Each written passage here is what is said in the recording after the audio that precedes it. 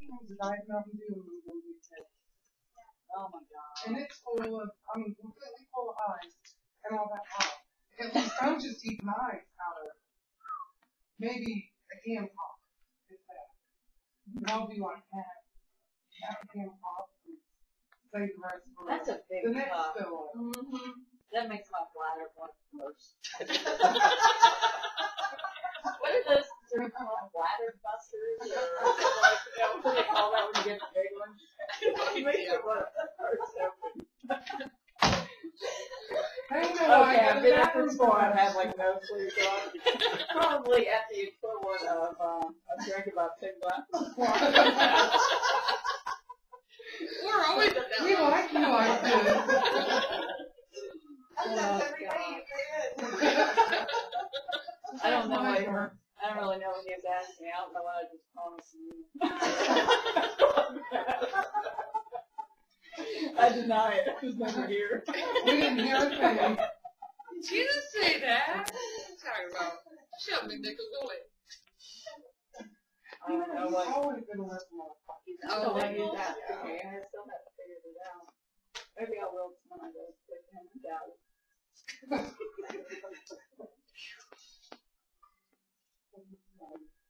He's so quiet. She just tell me. That was interrupting. Like, Go away. No, I was sitting there laughing my butt off. I hope I didn't know. Yeah, because when I get the sleeping, just like anything anybody says, it's just funny and great. Oh wait, you gotta be careful what I say too, because you know, just sailor talk. it's kind of bad. Alright, we won't tell nobody. Yeah. You got me on. Destroy all material. Yeah.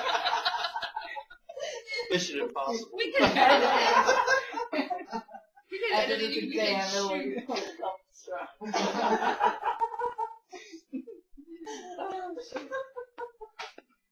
All right. Oh, we'll laugh all that. Um,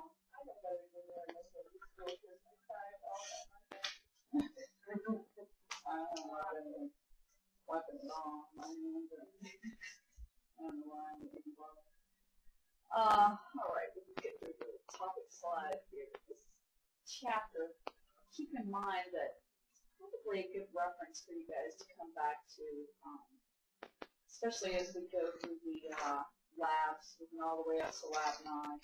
Um, a lot of these uh, laboratory media types and things that you have in here are explained in this chapter, so um, you got to go back. You know, just make sure you know this is kind of a reference chapter to that stuff. Um, alright, five basic techniques. I will ask you a question on this on the exam.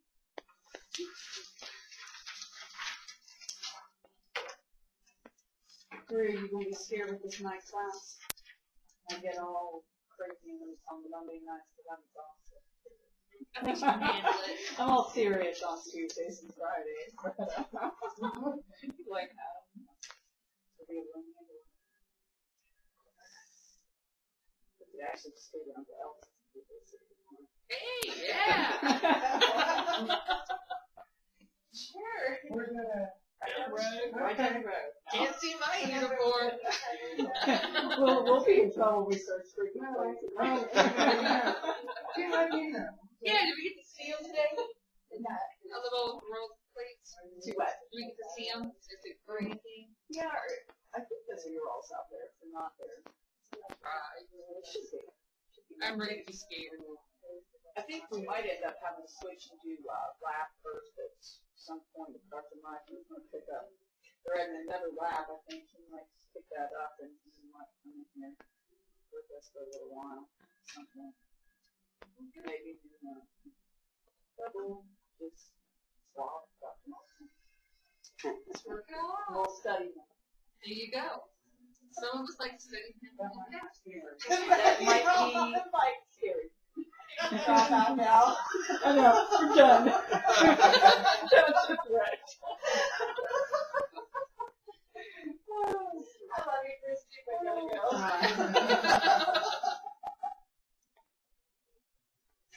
No, I'm just down, I bet I told my switch it around to the lab person. I'll, I'll warn you guys. I'll, I'll warn you. We'll duct tape it and send it in the corner.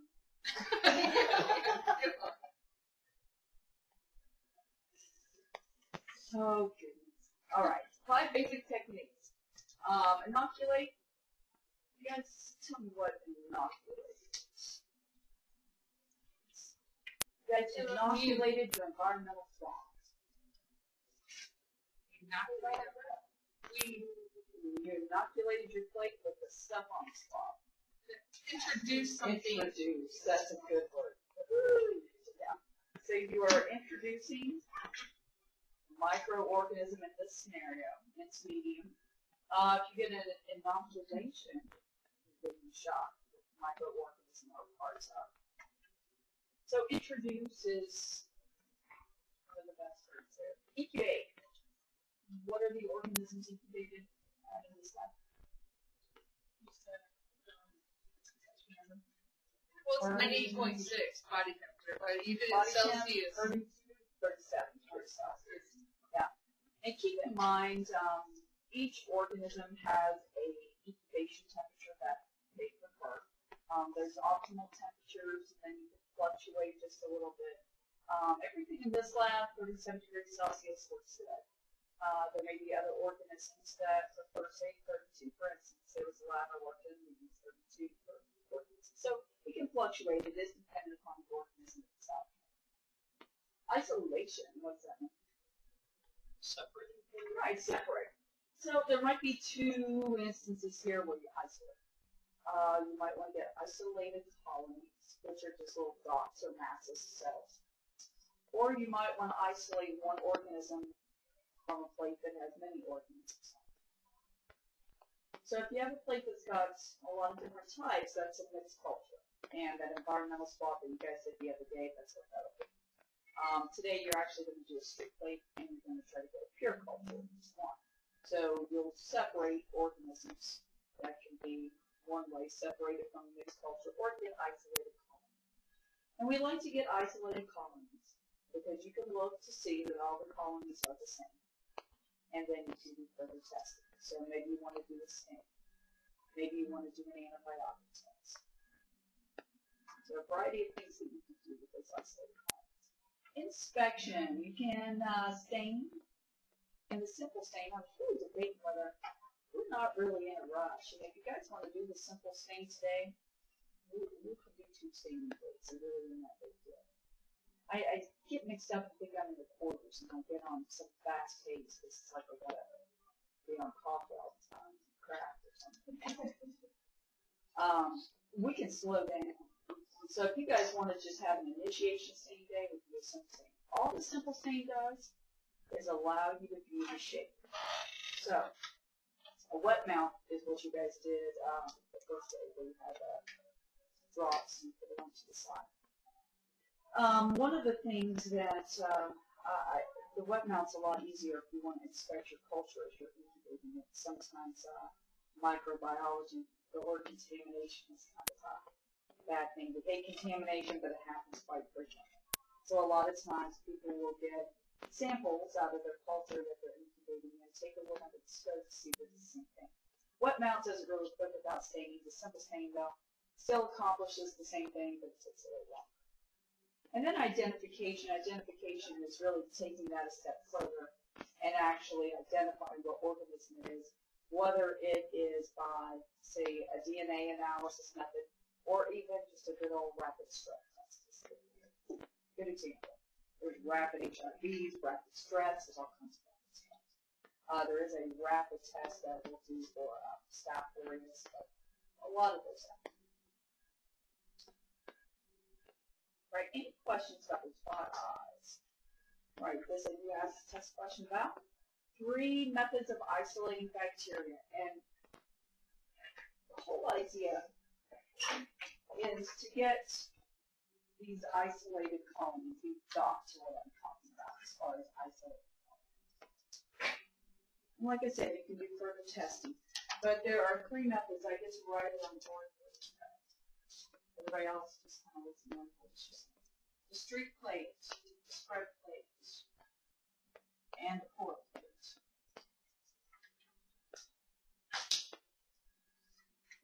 The streak plates what you guys are going to need to do. And you manually dilute it yourself. And the top portion is showing you um, they do five streaks and four streaks. We're only going to do a three streak. But the whole idea, for instance, with this one, this area is the most populated. You get your colony, you put it on a plate, sterilize, you let it cool, and then you drag from there to the next do the. So the whole idea is that it's the most concentrated in that first streak and the least concentrated in the last streak. And at that point, you can get isolation. But if it's too heavily populated, you just kind of get.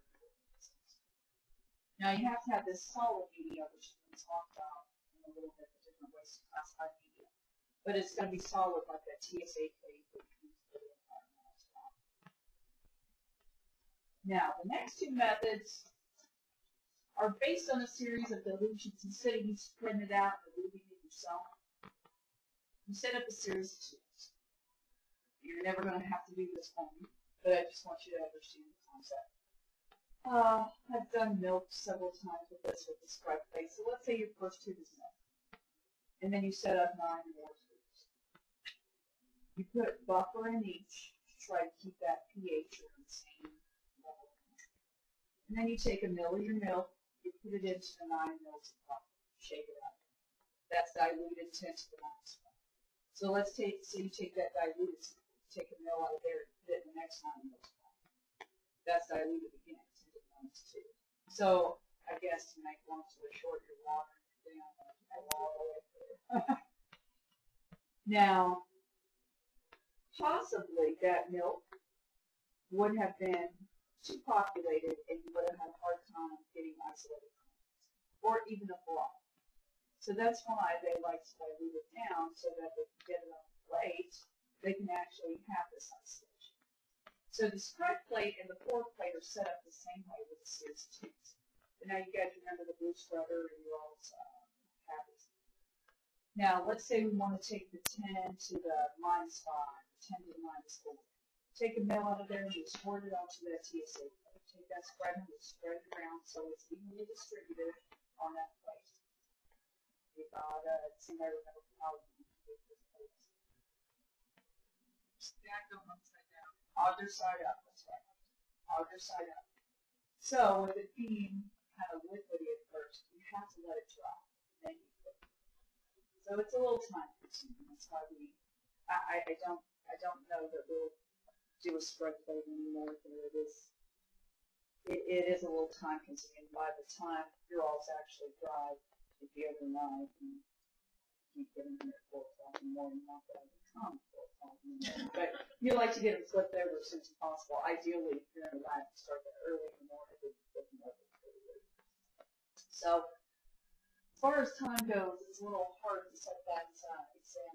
You know, that type of experiment example on there. But, um, the plate still set up the same way. Um, they make a lot of uh, a lot of fancy things now, but they have little bottles of water.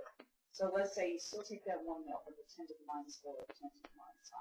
Squirt it into the medium, shake it up, and then you pour it into the plate, and you gotta still wait because it's gotta solidify. So that takes a little time. Then you can turn it over. So it's still one of those same things, you gotta start early in the morning, and hopefully it's solid by the time you put it in. But here's the difference between the two. The spreader, you're spreading just on top. The pour plate, because all of those organisms are mixed up into that whole thing, can go anywhere. So they can be at the bottom, they can be at the side, they can be at the top. Mm. So the pour plate's kind of, uh, remember when I said I had a better fruit and jello? That's the fruit and jello. So it's everywhere. But now keep in mind, it can also be on top. So anywhere your goes. And that's how my test question will be asked. So make sure you can inscribe where you how it. So, any questions about four streak spread? Grace All right, classification of media. You classify by the physical state, that's the easy part. Chemical composition is also pretty easy. Functional types where it gets a little complex. Um, as far as the physical state, you either have liquid media, semi-solid media, which is a little bit gel-like. So kind of make sure you write that description down. Sometimes I use that in the test questions. A little gel-like. So it's not real solid, but it's not just liquid. Uh, solid media, that TSA plate that you guys used is the example there. Now, as far as the broth, the agar is what makes it solid. So broth has no agar. Now, I still use, uh, you guys remember it was a TSA site, it was tryptic soy agar, so it's just tryptic soy broth that I use. Um, very uh, generic type of media that has all those mineral nutrients in it. So the liquid moves around, no agar. Now, what would the growth look like? What does it look like? Well, I'm gonna go flat. Like cold. Could be dispersed What does CSF look like if you got an infection? Cloudy. Cloudy. Cloud. Now you put it that way. I was thinking like when you have mold on stuff that's liquid. yeah, sometimes you'll have a nice little residue that floats in Yeah, there. That's what I'm thinking of. Yeah. Try to get it all mixed up in there. Then they drink Shoot. I hope it's the good mold then. Back in the seventies, in fact.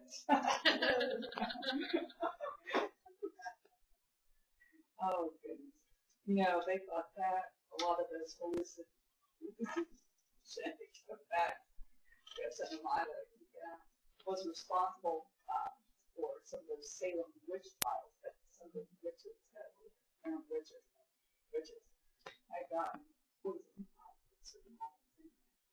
toxins and I guess maybe they. Of taking away jaw, I got Yes. oh yeah. Hermes Day, keeping your home experience. I love all my little conspiracy theories. And mold poison. Alright. Semi-solid media. Semi-solid media has a very low percentage of agar, so typically a percent or less. It's enough just to make it firm, and they use this for motility testing. So what happens, you guys remember the needle that's in your um, uh, cavities. You take some of the organism and you stab it into the of media. This is the stab line where you actually see the organism. Now, because it doesn't have hardly any agar, if it's motile, it allows it to move out from the stab line. That part will be cloudy. Part in the stab line looks chunky. But to the outside, if is motile, that will be cloudy if it is motile. So semi-solid has very, very little agars. Then when you get to solid media like the TSA plate that you can make um, uh, slants, and they actually have to tilt it so it can solidify the stuff.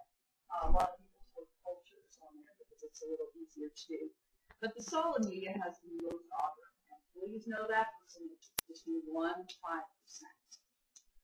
Now, the looks of the growth on this type of agar, those are those colonies. So if you want to have colony formation, you can't do that in, in semi-solid and you can't do that in the uh, liquid. You got to do that on solid.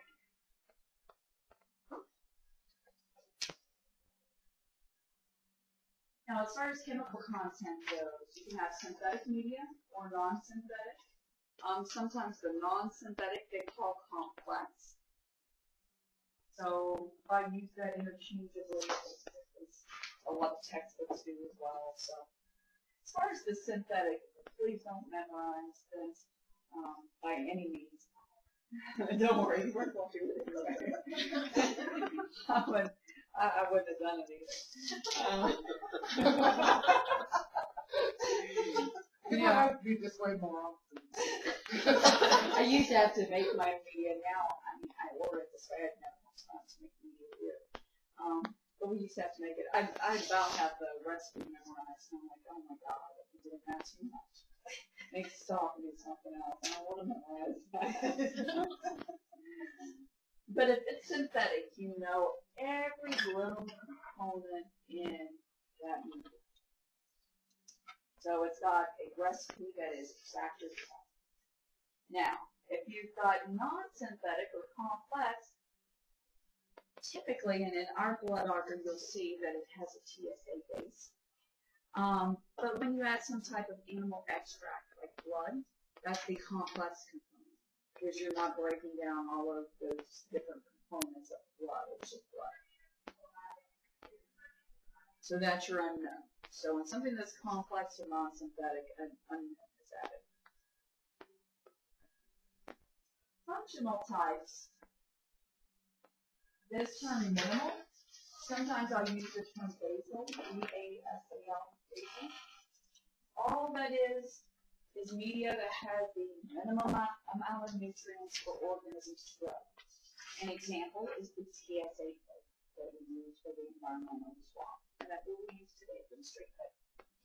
Um, enriched media or complex, um, enriched is sometimes used also in the same terms as complexes, although I kind of want to separate those in the lab. But as far as complex, the blood agar would be complex.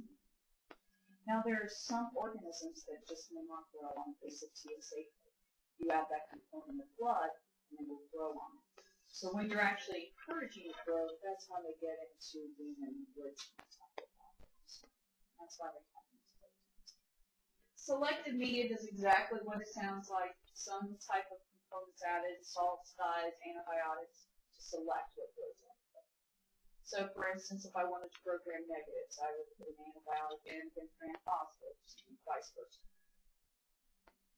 Differential media, a component's added that allows a visual difference. Usually it's like a sugar.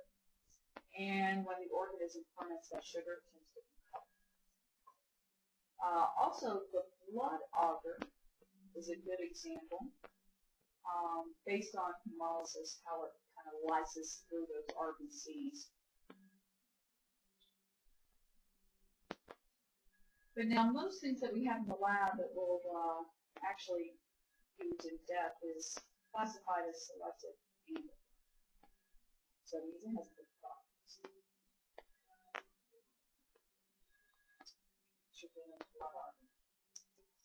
Um, and in this scenario, you can use it as an enriched Neisseria only grows on the chocolate agar, and that's also blood agar. It's just like a Hershey bar. If you're really hungry, you might want to eat it, but it is not It will not taste anything like um, the blood agar that I have, I just don't get the chocolate. It's just, just kind of in there. I just don't like the word chocolate on anything in there. It's kind of makes you mad all at the same time that you're like, ew, but you know. So I get the nice sheep blood, which is really red off. And it, it's kind of like that. This really, the chocolate really doesn't. All right. Um, you get a table just like this in your book. Um, it's updated though and actually correct. This one a little too much information on. Um, some of these media examples here, ones that we actually used in the lab, the blood agar. Um, the reason why they stuck it under differential is because of hemolysis, of how the organisms rise through the RBCs. But the one I really want you to focus on is the mannitol salt agar. And I abbreviate it MSA.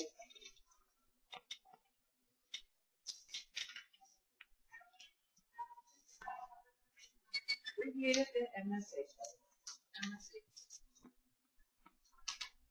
Now, this particular plate, even though they don't have it on your current chart, this is supposed to be just how it's differential. I'm going to tell you how it's selected. They actually have this one it's not a differential. But it has 7.5% sodium chloride, so 7.5% NaCl. That is a very high salt concentration. So not a lot of organisms can withstand that much salt but now staph will grow on this. So this plate is really meant for staphylococcus. Fungus will grow on here, but that's not what uh, uh, the purpose of this plate is for. So staphylococcus is what we really want on this particular plate. Now the differential component is that it contains the sugar alcohol mannitol. And that's on this differential. That should probably, yeah. See, they put the selected part up here where they collected it in your text. So. But I want you to know it's selected because it has that high salt concentration. It's differential because it has the sugar alcohol mannitol. Now what happens is fermenters, this plate is originally pink to start out with. Fermenters of mannitol will turn that plate yellow. Non-fermenters will stay like a green colored organism on a pink plate. So it does look very different. Now the benefit of using that particular plate is you can differentiate between the pathogen Staph aureus and the non-pathogen Staph both normal flora of the skin. So let's say you're trying to figure out if there was contamination in blood when you saw a couple of cells. Um, if you test it and you put it on an MSA plate and it shows up Staph aureus, Staph aureus is an organism that can become systemic infection. So that's what's showing, then you would go ahead and treat the. If it's Staph epidermidis, not really a threat. You have to be so immunocompromised for Staph epidermidis to really do anything to you. This does help differentiate between pathogen and non. Is that where they say it's colonized versus non-colonized? As far as MRSA goes, Yeah. No. Um, well, yes and no. Uh, this is not. They don't necessarily have to use this plate. This any Staph aureus, whether it's MRSA or not, will still produce that same color, the yellow. Um, but when you say colonized, Staph aureus is normal flora. It's just opportunistic. So it can cause an infection, given the right scenario, it does.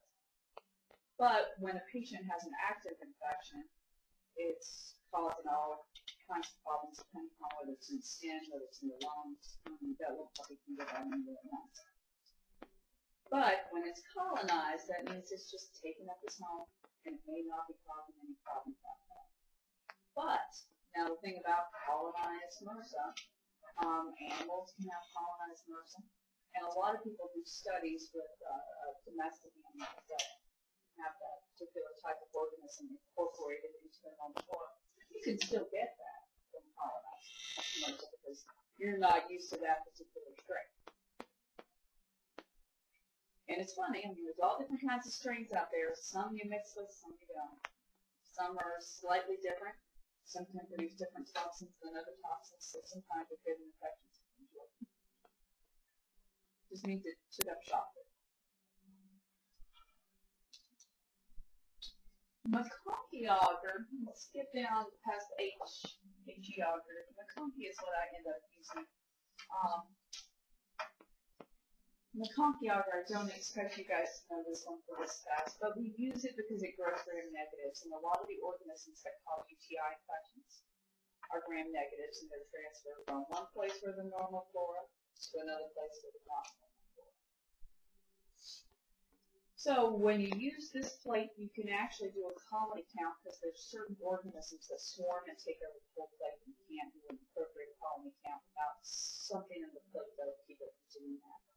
Um, but they'll do their colony count and then they'll find out is it a, enough to say it is a UTI or still needs wait or can go ahead and prescribe it. Urea broth, we don't use the broth, we use the agar. I'll talk about that later. The SNP tube and the TSI tube. The SNP tube is one of these that uh, is a semi-solid medium, so it has very little agar in it. Uh, but there is a differential component, and uh, you can find out if the organisms produce H2S. So the tube turns black, and if you open it, it smells like Sulphur City. It's, I would say you got a little bit of an imbalance sometimes in your digestive system. those little guys to to take over. Just a couple of them that are normal for that it's H2S. Alright, so we can go on to this slide. Incubation, I already talked about, uh, each organism having their own temperature, so they have very, varied temperatures. Inspection, as far as finding out if it's a mixed culture or a pure culture, um, that's one of the things that I want you guys to kind of decide with your environmental science thing. Um, but if you're doing that on a TSA plate, you're looking at the colonies. Uh, and so when you guys get your plates today, I want you to look to see if the colonies have borders around them, or if they're straight, nice, and circular. They're kind of irregular. Some have like different shapes in them. Um, some are very flat, dull. Some are very shiny.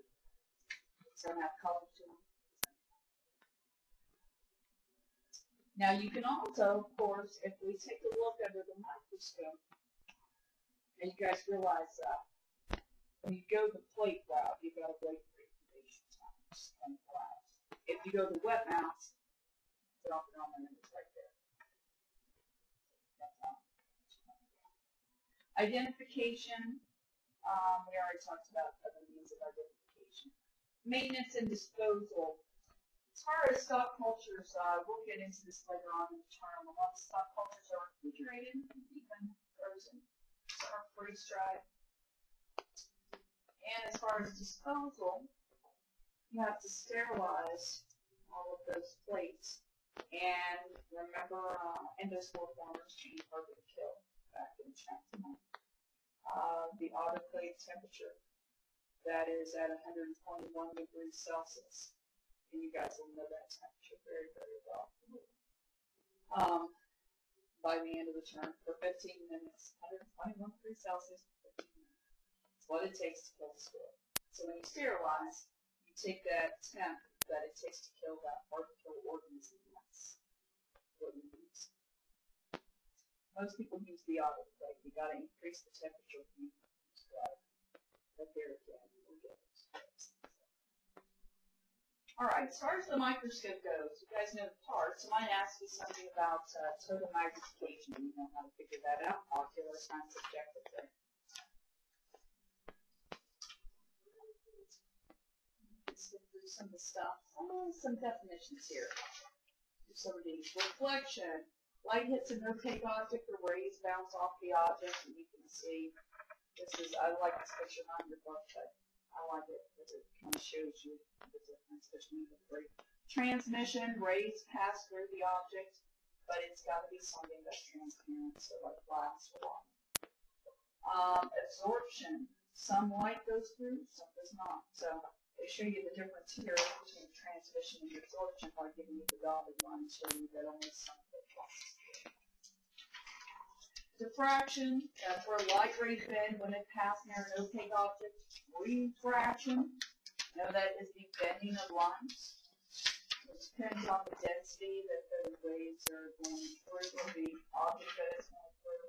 The refractive index determines the speed of light through a medium. So, even when you guys are looking through the scope, there is a different refractive index when you look through oil you air. So what's between your objective and what's between?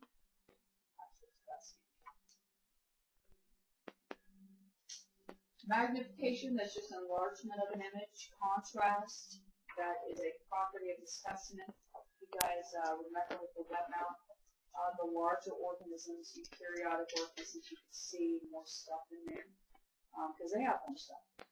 Prokaryotic cells that were just little rods or dots on there, very simplistic, just like that shape. So remember that that's why that phase is nice because it increases that contrast is something that you can actually work with very well with for a microscope if it's a prokaryotic cell and you're not seeing. Now resolution, I like to ask this one, that's the ability to distinguish between two points. Measured as resolving power, and that's as close as you can get to it, still distinguish what you're looking at. It's dependent upon three things, size of the objective lens, wavelength of the light, and the refractive index of the material between the the objective lens and the specimen. So air is at a refractive index of one, oil is 1.5. And it increases the thicker stuff is in between. So if it's uh, really viscous syrup or something like that, go up. So once it doesn't move, it doesn't move, you go really hot.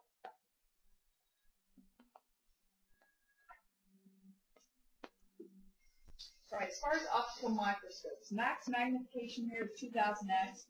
Um, pretty much, uh, most scopes that you guys will ever come in contact with will be 1000 max magnification. But you can order some fancier lenses to go up just a little bit. And you can actually order other lenses that can actually do the blue. So, but that's the max magnification. Now the bright field scope, remember that's the scope that we use. Um, we'll focus on bright field, dark field, phase contrast, and fluorescent. So the bright field, I want you to know that that is the most common microscope that's used in the lab. And it is good for looking at live or preserved stained specimens. And you guys remember from the wet mount, it isn't that hard for something that's unstained. You really gotta try to find it before you the denser. You gotta try a little harder. The dark field, you can look at live unstained specimens. And the only light entering the objectives is from the specimen itself. Everything else is. The phase contrast can also look at live specimens. Some of these phase scopes you can look a little bit more at internal cellular detail. There's the opaque rings that you find in the condenser, and they'll put in the objective as well. And that'll go ahead and add that contrast that you have there. Now this is a fancy phase microscope, I see like that, just a little bit. Now this is the dark field. So this is what it means by the only light coming in is from the specimen itself. Everything else is blind. And then that's the bright field.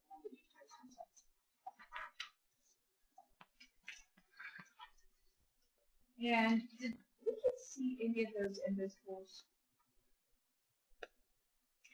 Some of the cultures were too thick with the wet mount. Some of them were fine, some of them were not that great, but it looks like a needle.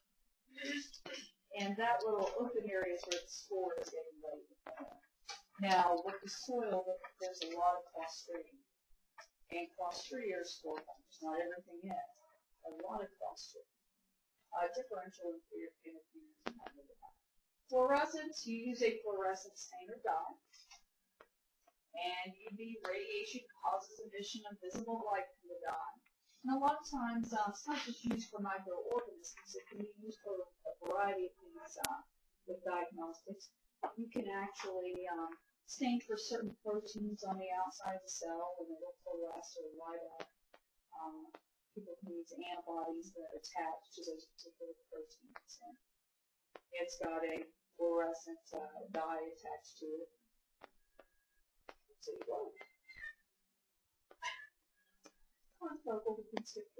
Electron microscope. Electron microscopy.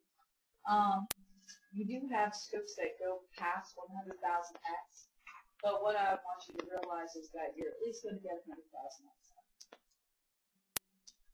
So the older uh, transmissions, that's all you're going to get 100,000 scanning, they go up a little further. Um, but the transmission electron microscope and the scanning electron microscope, you need to know what beam of electrons is transmitted to the specimen. Now with this one, you are looking more at internal structures itself. So how we know what the Golgi apparatus looks like, and the endoplasmic reticulum, and all that good stuff. This one is not so.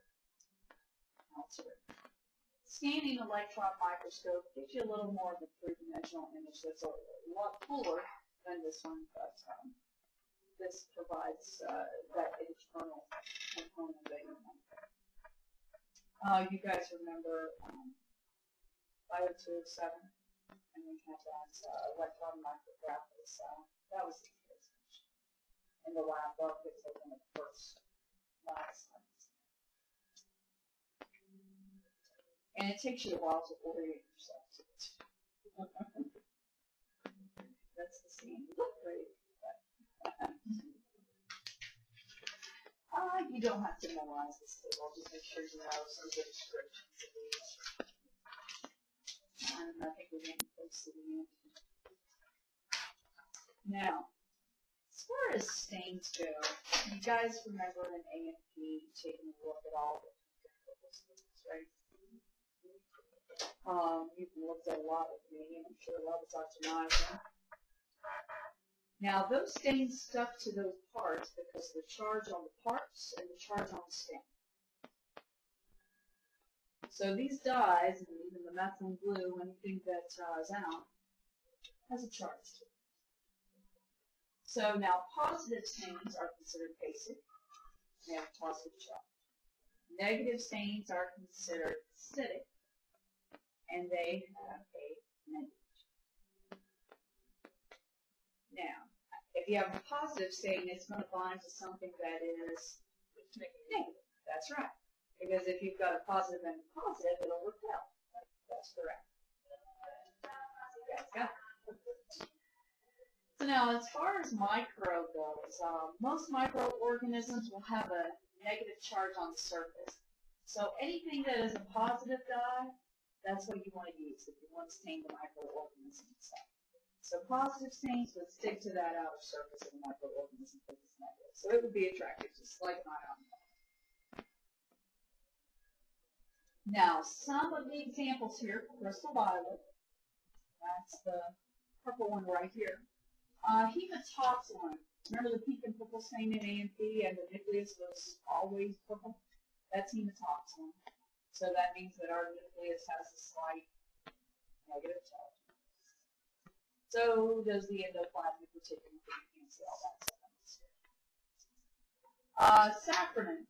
Safranin is also a stain that uh, we use in the gram stain right there, and it has a positive charge as well. So, gram negative and gram positive does not mean that one has a negative charge and has positive charge. They both use positive stains, and they both have a slight negative charge on the outside of their surface. Gram, when it's got that term in front of it, is referring to the actual structure of the cellular envelope. So that's why I want to bring this up here.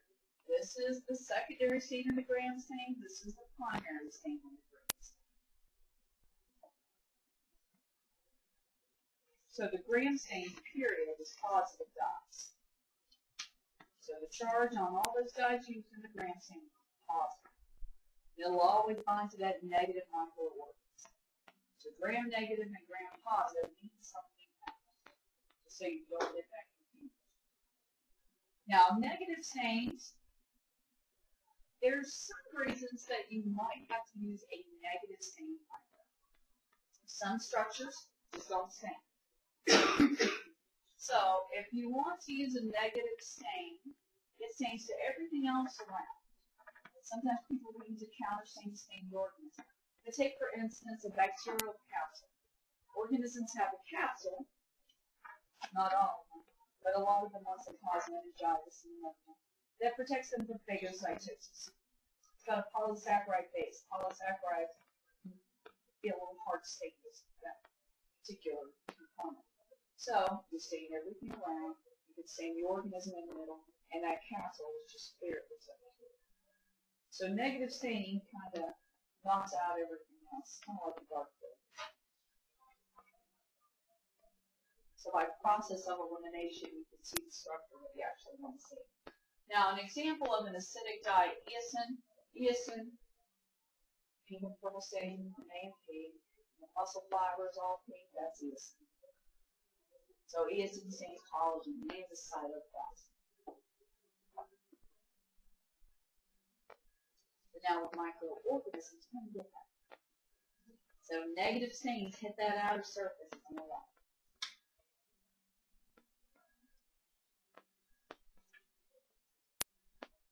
Alright, any questions? I've got a couple more guys I want you to know in charge of. To start in a second. Now, as far as staining microorganisms, there are a couple of vital stains that you can use that will stain live cells. The majority of the time, most microlabs have those. Um, some are a little more carcinogenic to use, so really the traditional dyes typically safe bet. Uh, if you're going to use any of these things up here, you have to kill the microorganism. Most of the time that's done through heat fixation, where you run your slide a flame. Uh, we have hot plates back there, and that's how we fix. Uh, you can also use chemicals like formaldehyde, glutaraldehyde, things like that. Now, under this positive stain, this is the chart I want you to look at to start. Uh, I've got some examples here of basic dye, the crystal violet, which I had on the other slide. Methylene blue, methylene blue is this dye here, also on your table that's uh, in the little bottle. Uh, safranin is that other component of the gram stain. Malachite green, they use in spore stain. Malachite green is very carcinogenic too. Um, anyway, just know the names of those basic dyes. Some other acidic dyes besides eosin, nigrosin and India ink. nigrosin and India ink. Now, some of the different stains, the simple stain, which shows just the shape is positive stain. The gram stain is positive stain, but it's gram positive, gram negative. The acid fast, which identifies mycobacterial cells like the ones that cause TB or leprosy. It's also uh, spore stain. Now, the spore stain, you could kind of be tricky with this and stain everything but the spore, so it can kind of be a negative stain, but this most of the time is not Typically, it's just the capsule that they use for staining. Uh, one of the things here that I want you to notice, even though this is all positive stain, staining, sometimes the term special, not really like that, but this particular text I've always used the term special stain. I like to call them structural stains, and I still do in the lab, because it identifies the structure. So it just makes more sense. Now they've got the capsule under here because you can counterstain that microorganism, which is the example I'll show you next week. The spore stain, though, a lot of times they'll put this as a structural stain, and then sometimes you'll see it as a differential. I want you to make sure that you know it can fall under both places, because sometimes they'll use two dyes, and sometimes they'll use just one. The example I have in lab uses just one. So if it's one dye, they classify it as a structural or. If it's two dyes, they'll put it under the differential.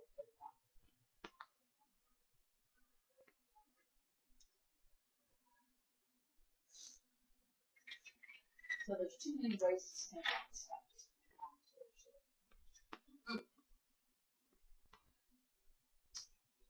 Um, so some examples here of positive stain, simple stain. Um, I- I'm going to let you guys do that today. I you said that'll be fun. I can. Don't need to rush it by any means. But one dye, you just see shape. That's all you can tell. Can't infer anything. Um, now you can see like arrangements, whether it be staph or uh, stress, but. I know everybody wants to see a lot, but just that one thing, and it's kind of it's limited what. Differential stains. The uh, gram stain uses two colors. So that's a good example of a differential stain. Special or structural stains just emphasize the structure or, or cell part. Capsule stain that uh, I was talking about would be a good example, but remember the capsule is negative stain. But you can counter stain the organism the. You don't have to. Um, see the top example here, Cryptococcus neoformans. It looks like a bubble around it, but that clear part's what the capsule is. So they've stained everything else around.